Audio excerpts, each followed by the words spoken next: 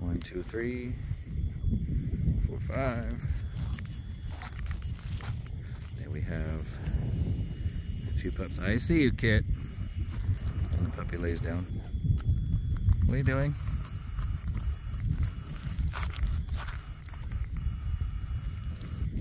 I'm gonna walk over.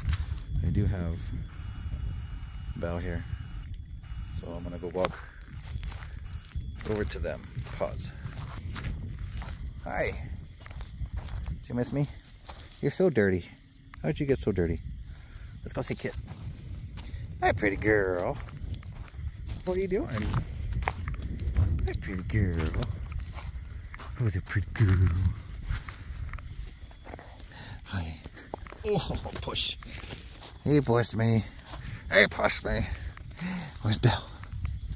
Oh, yeah. Is that Belle? You can go see Belle? Oh, wait. She's over there. Do you want to go see Belle?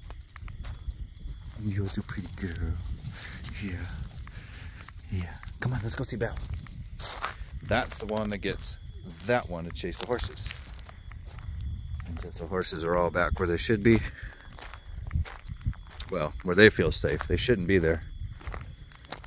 Oh, you okay, Kit? You okay? You okay? Not you. Not you. Yeah.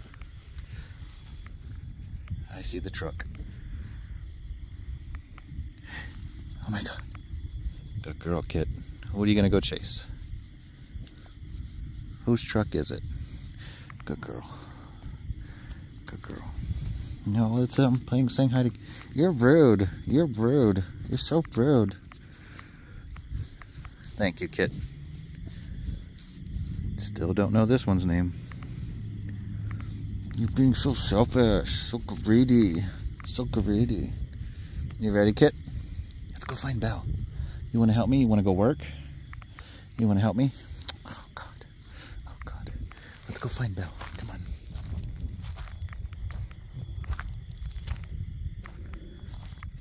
You want to come with? Oh, my leg hurts. All right.